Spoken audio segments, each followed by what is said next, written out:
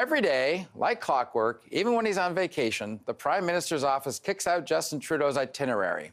But back on December 18th, the itinerary listed Trudeau's attendance at the new Chief Justice's swearing in ceremony and a chat with Quebec civic politicians, but nothing about meeting with freed hostage Joshua Boyle and his family, whose five year ordeal was held while being held captive by the Taliban linked hostage takers, ended in October in Afghanistan. It was a curious omission.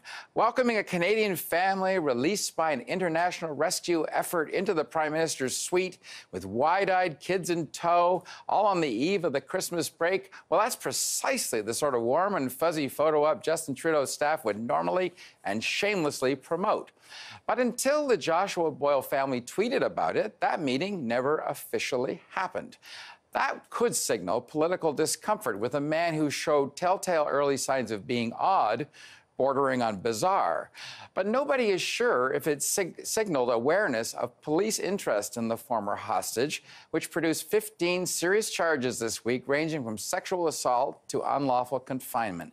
That's because the Prime Minister's staff will not squash that possibility. Although it defies comprehension, the meeting would have taken place had there been even a whiff of what was to come the Prime Minister's office should issue a firm denial to kill any speculation they knew charges were pending.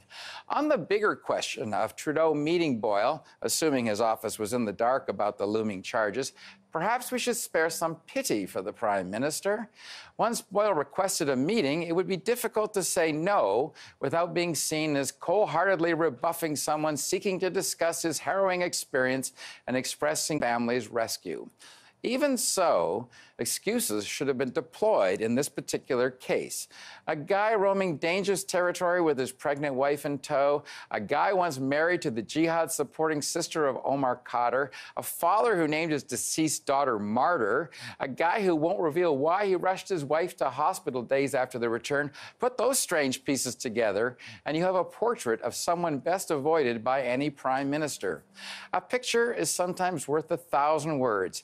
In this cringeworthy photo of Trudeau happily hanging out with the Boyles last month, many of them are questions of bad judgment.